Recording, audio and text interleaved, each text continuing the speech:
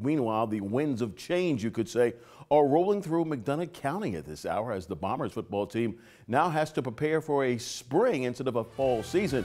WGEM's Garrett has more details from MHS. The fall sports season, or any sports season now for that matter, won't look the same.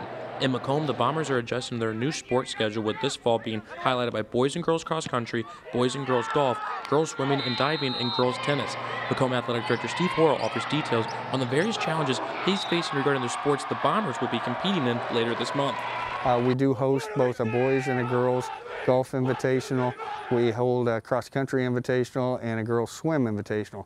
Those may have to be altered at some point and maybe even, you know, done in shifts rather than one big invitational. Even though football got moved to spring, head football coach Tony Weston said these are great new opportunities in the fall and encourages his players to try them out. Our football kids are going to have opportunities to prepare their bodies by playing other sports before football instead of playing football before other sports. So, so that's definitely a unique aspect to all of this is, is having the opportunity for, for our kids to maybe try something they've never tried, maybe go out for cross country, uh, be prepared.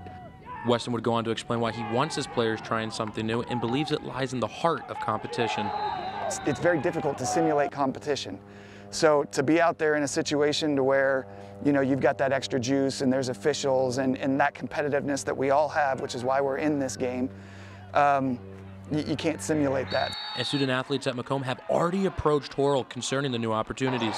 Some athletes that have, have, asked about going out for golf or cross country at this point in time that you know would be doing a different fall sport. So you know they'll get four seasons as as opposed to three. So you know there are some upsides to it. Reporting from Macomb, Garrett Tias, WGEM Sports.